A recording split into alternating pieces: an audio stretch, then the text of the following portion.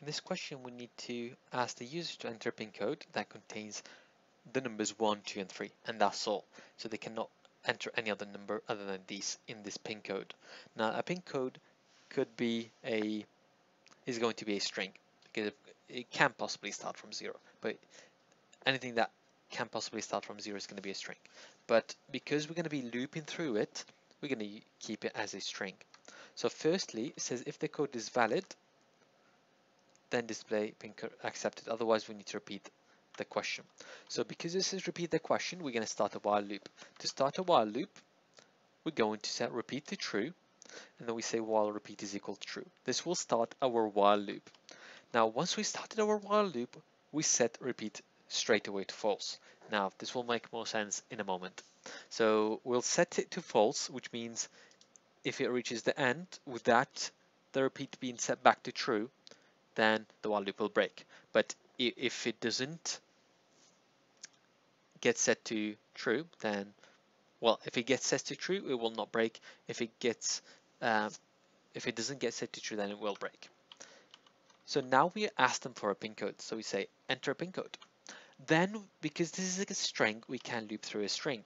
So what we're going to do is we're going to loop through that string. So for x in range, from 0 to the length of code.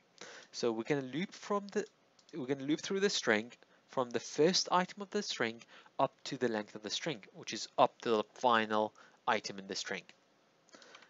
And once we've done that, we need to check. So we need to create an if statement. So if code x, x will start from zero. So if the first number in the code is not equal to one, and the first number in the code is not equal to two, and the third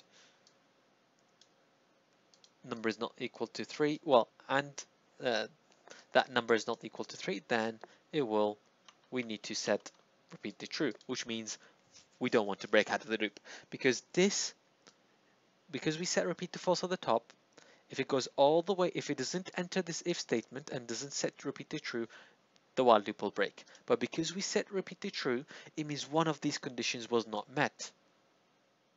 So because that number was not 1 and it was not 2 and it also wasn't 3 so it wasn't any of them then it got set to true. Because it set got set to true it means the while loop will repeat. It will not break.